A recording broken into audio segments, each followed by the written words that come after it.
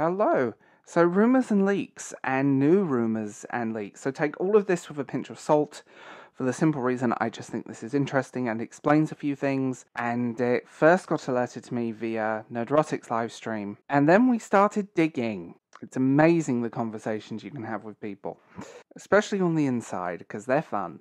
First things first, the lore characters from Tolkien's work are actually on loan from Warner Brothers. They have the screen rights to them, which I find fascinating. This could explain a handful of things, including limited to no merchandising, the overabundance of original characters presented within presented within Rings of Prime, and just an overall kind of mess the show has been. Like this is a dumpster fire and it's burning really bright right now.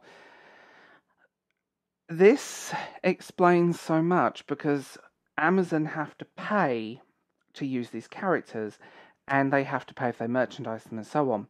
Which explains where some of the budget or a lot of the budget has gone. So all the people that rip apart Peter Jackson and Warner Brothers constantly on Twitter, you're giving them money. Just just bring that one out there. Because, you know, Amazon, you know, the evil corporation that before Rings of Power you're all slamming and now it's the greatest thing ever. Hypocrisy is real. Now, we're going down the rabbit hole of other stuff and other information, and I think you guys will enjoy this. So, under the original con- conception of Rings of Power, when it had a different name, and it was going to be very different show. So the leaks and the rumors include the fact that originally there was going to be a different character. It wasn't going to be Galadriel or Galadriel with no character development. And it also explains why the actress didn't know who she was auditioning for, which is also a interesting little tidbit of information. And I think that's quite commonly known anyway, but I think this overall is fascinating. They're also limited on the portrayal of the characters, um, how they look, what they wear, and so on, which explains why some things are so oddly different. They're also limited on marketing with the lore characters. They can't just market this character, they have to pay Warner Brothers to get every time it's marketed, every time it's shown. And I mean, the sort of deserted, underpopulated Middle Earth of the Rings of Power is predominantly the few population are predominantly original characters. Lore characters get more limited screen time because every time they're on screen, they have to pay. So that's an interesting one. And it kind of goes down this rabbit hole of the the early concept for the show was very different. It also there was heavy recasting. After um, Christopher Tolkien died, there was heavy recasting and heavy reshoots, rewriting, and it's why the series went from ten episodes to eight episodes because they just ran out of time. There is apparently hundreds of hours of shot footage on the cutting room floor at this point featuring very different versions of these characters and somewhat different plot. Although it would have followed the basic structure, it wouldn't have been the Galadriel with a big Final Fantasy sword. It would have been quite different. And that's an interesting little tidbit of information. Rings of Power came out with no merchandising. And even now, the merchandising is extraordinarily limited or bootleg. They also, and this is again rumor mill, can't release this series on DVD or Blu ray because of the licensing agreement that they have with Warner Brothers. And Warner Brothers have a get out of jail free card. Warner Brothers apparently could at any point say, We don't want you to use our characters anymore. Bye. Because they own the exclusive screen rights, which is interesting overall because it explains so much with the construction of the show. I mean, there was recasting at the last minute especially after Christopher died, there was people walked away, people backstage walked away, production team and so on. There was like a whole list of people that just went by. And now we know why. um, I mean, the hours of footage on the floor, the countless other things. There's, I mean, I would love to see that footage actually. What was the original concept for the show? But the the leaks and the rumors include the original concept for the show was going to be an original character played by the same actress that just would have been kind of the same role, you know, unlikable Mary Sue with no character growth or development and no it, would have followed the same thing. It also explains the uh, condensed timeline because originally again leaks and rumors, the timeline of this show wasn't going to be across the Second Age. It was going to focus on the fall of through Numenor and the rings themselves, and also why there's two Durin's in this show. Uh, Sauron would have been a more background character, and the god awful help, the fan fiction version they created, the incel version, would have um, not been on screen that much. They also had the option of getting his proper name in the Second Age, and hell, Brand, they didn't want to use it because they didn't want to pay for it. Other leaks included they had the option of other supplementary material other than the appendices, and that's that's a whole thing. Like they had the option of getting this supplementary material, and they didn't because money. Jeffrey Bezos, according to leaks and rumors, is not happy with how this show has gone. He is bitterly disappointed with season one. Um, absolutely disappointed. And disappointed in people's reaction and disappointed in the show himself. To say what you want about him, he is actually a Lord of the Rings fan, believe it or not. And he gave creative control to the wrong people. Insiders have said that the meetings have been very intense, and now we have more leaks going into season two because of the strike. And they put out the thing, oh, all the footage has been filmed. Yeah, but they can't do any ADR because there's always outdoor filming, there's always going to be uh, ADR. Because if you don't know what that is, it's when you voice over something to make up for background noise. They can't reshoot anything. And other leaks and insiders have said that season two is completely incomplete because there's no there's not barely any footage. To the point they may end up splitting season two into two lots of four episodes. But again, rumors and leaks that might be incorrect, so just putting that one out there. The show is uh, a failure on many levels, and this is prime example of it. Both in construction, both in writing, and now we kind of know why there's been so many backstage dramas. I mean, there was actors that walked away very early in production, and many of the actors were changed at the last minute to the point the costumes don't fit the people on screen. Explained. This also explains why some of the key actors are in background actors' costumes with the seams under the arms and, and all of that stuff going on. Because, and let's be real, you have to do reshoots. Pieces that they created may not have survived, and costume designers walked away from this again early on because they all signed do not talk things and all these agreements, so they can't really talk about it but a lot of them took their work with them. This show was going to be very, very different early on, and there's been other leaks as well, which I'll talk about in another video more in depth next week. But the other leaks have been interesting because they didn't, they breezed over a few people. They breezed over a few well known Tolkien scholars because they were too concerned with accuracy and that explains a few things as well. I mean, it like watching this show, the construction of this show, how it's been put together, there's no sense of time, there's no sense of distance, there's no sense of travel. The world feels underpopulated. Uh, dialogue is stilted and awkward in places, which is obvious reshoots. the continuity is completely broken, and the limited screen time of certain lore based characters, it's telling as hell because money. Let's be real, you have a billion dollars to play with, and a lot of that money has gone on rights for characters, reshoots, heavy editing, recasting, because even if you're recasted, you still have to pay the actor that left. Um, there's a whole list of things, and the fact that none of these actors are making particularly good amount of money, and barring Lenny Henry, most of the and even him, I didn't know he was an actor. I've always thought he was like Mr. Dawn French comedian. The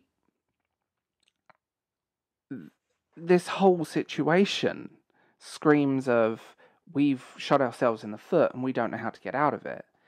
And it shows in how the show is constructed. Like you can always tell a movie with heavy reshoots, be it hair, be it continuity, be it this, be it that. They desperately tried to fix what they wanted to use and create the version of the Rings of Power that we see now. But the original and again, leaks and rumors, and I hate saying that too much, but we're going into this.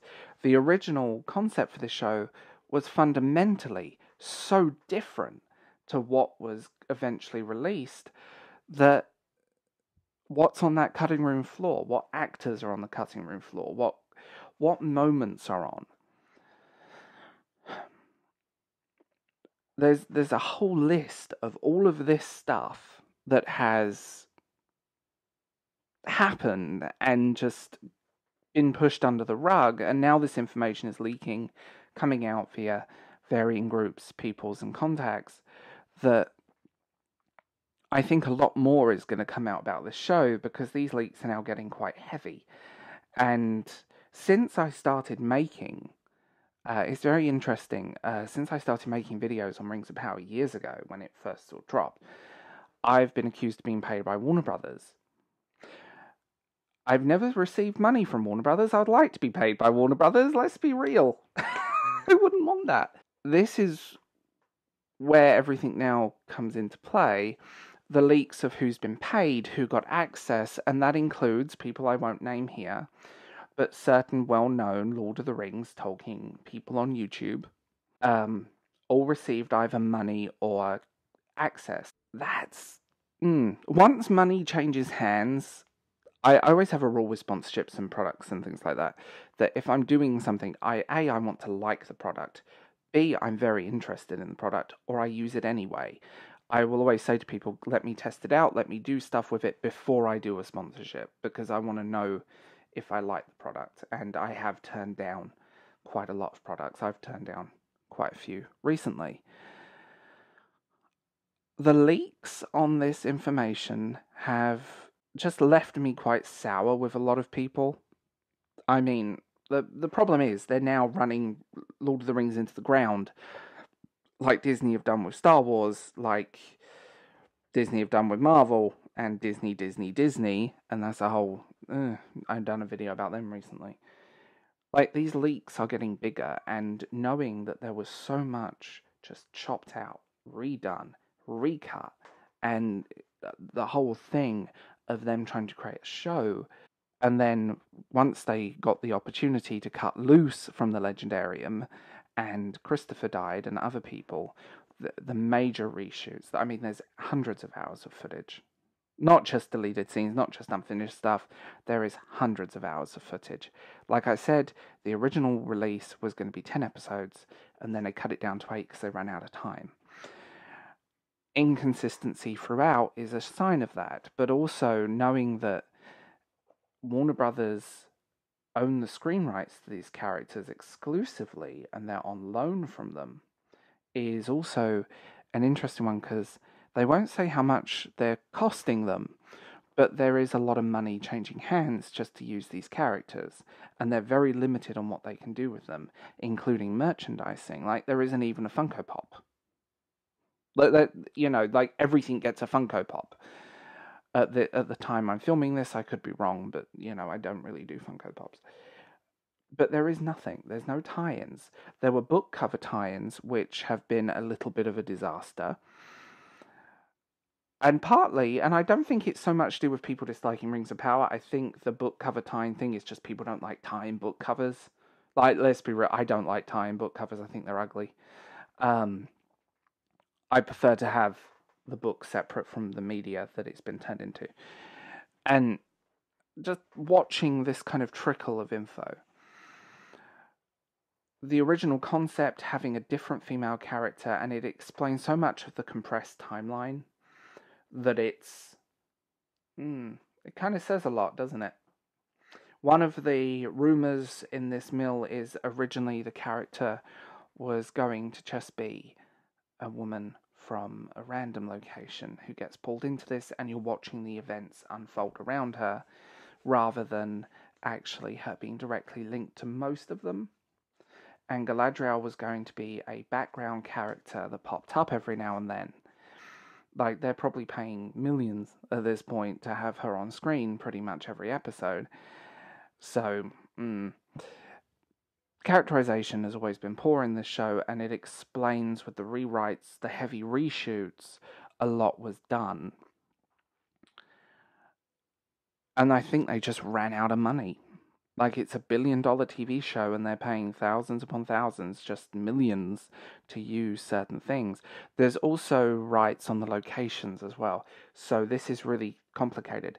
Any location that is mentioned in the Lord of the Rings or the Hobbit trilogies has to be paid back to, um, paid straight back to uh, Warner Brothers. So again, screen rights. They have the rights to create a show, but certain things are under screen rights, and there's a very convoluted deal here. So a lot of places have remained reasonably unnamed. They also, um, I mean, already you've got two practicing Mormons as showrunners who donate God knows how much, so much percentage of their money to the Mormon Church. So, you know, that's a thing that people tend to breeze over. And by the way, I have no problems with Mormons. They're some of the loveliest people I've ever met. I'm just putting this into context for the hypocrisy of Twitter or Twatter or X. You know. Um, but this whole debacle now is getting more and more explanation. And I I've got a video coming next week, like I said, where I'll be going into the accuracy and the people that were passed over. Like I've had some fascinating conversations with people, people that have had meetings, phone, Zoom, FaceTime, whatever, face to face, and the amount of people that got passed over. It's interesting because a lot of other things have happened. I mean, uh, there's a well-known it's a, glorified book club, and I talked about it in the Tolkien Fake Tolkien Scholars Exposed video.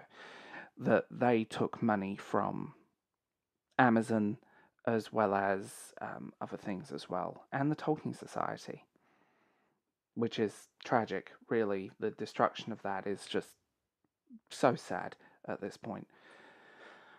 the The whole situation is is just a mess. And they wanted to get rid of Shippey from the start. That's the thing, because he was too focused on accuracy and too focused. And he, once he was out, they were looking for a reason to fire him. And the f- broken NDA is may may not be true because something was happening backstage and they were looking for an excuse to get rid of him from the get go. And people hate it when I use the word get go. Seriously. It's from the start of production, they wanted him gone because they didn't want an accurate series. They wanted a completely different show. They wanted everything. And then once they were gone and they suddenly realized we need characters, we need well known places, we need to buy this audience, they started inserting the lore characters into the uh, show in a far bigger way to kind of compensate for that. So that's that's a whole thing that's happened and like allegedly happened, I should say. Uh, the insiders are fantastic, and I thank you all because you guys feed me information in a way that is fantastic. And now with the debacle that's happening here because people aren't happy with the state of the filming. There's threats of legal action. New Zealand government might be taking legal action. There's there's a whole list of like trickle down effects here, and the other leak involved that Bezos has basically said if season two is not a commercial success, that's it. Bezos is pissed. That's the most basic thing at this point, and he would rather pay out because they have to pay uh, the Tolkien estate when their show gets cancelled. They have to pay them to cancel it because it's a locked-in deal. Uh, he would rather pay that than continue with this embarrassment. Direct alleged quote. So, I mean, this whole thing has happened. This whole situation has just gone down like a lead balloon, and it's embarrassing. So, lots of leaks, lots of information, and more videos coming, and I will talk to you guys later. Tell me what you guys think in the comments, by the way, because I'm curious on this one myself, and I always take these kind of alleged leaks and stuff from the inside as a big, big pinch of salt because, you know, people. It might not be 100% accurate, it might be, it, it depends. So far, every leak I've got and have been privy to has been correct. Pretty much especially in the early days of production. So the leaks are rolling in. Now, share this video, like this video, comment, do whatever you want. I have a Patreon, you can become a member. Enjoy yourselves, have fun, and enjoy. And I hope you guys stick around for more.